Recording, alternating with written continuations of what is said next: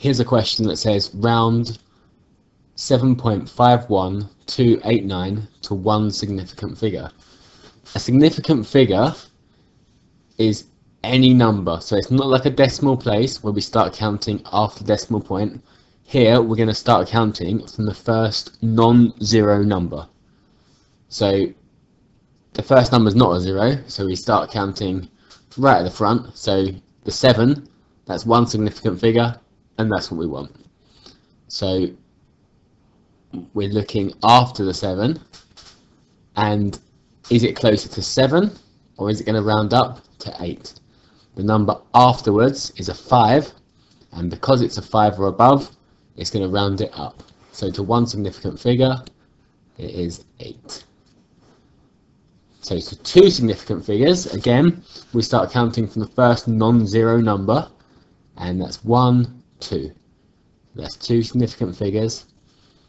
Now we're looking at this number. Is it 5 or above? No, it's not. So it's not going to round it up to 7.6. It's going to stay at 7.5. And three significant figures from the first non-zero number, 1, 2, 3. The next number is a 2. That's not going to round it up to 7.52, so it stays 7.51. Okay, same thing again. So one significant figure means the first non-zero number we start counting from. That's here, 1. We look at the next number. It is 5 or above, so it will round up, and that will become a 6. But the answer is not 6. Okay, the value of this number is 5,000. So it's going to round up to 6,000. two significant figures, 1, 2. We look at the next number, it's a 6, so it is going to push it up, so that's going to become a 9. So we're going to have 5, 9. But again, these are thousands, these are hundreds. They stay as thousands and hundreds, so it's 5,900. And three significant figures, one, two, three.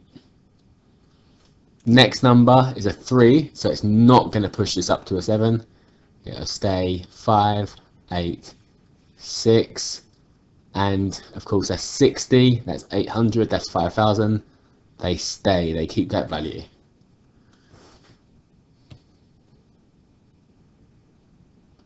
And this time, remember we start counting from the first non-zero number.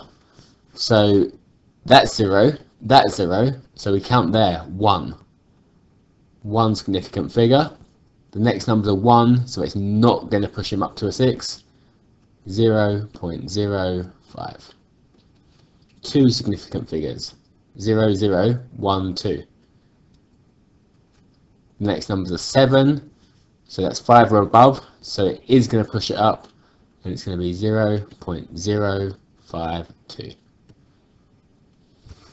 three significant figures from the first non-zero number, 1, 2, 3. Next number is a 3, so it's not going to push it up, so it stays 0 0.0517.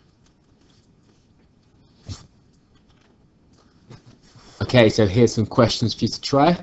So one significant figure and three significant figures pause the video now, try them, and I'll put the answers up afterwards.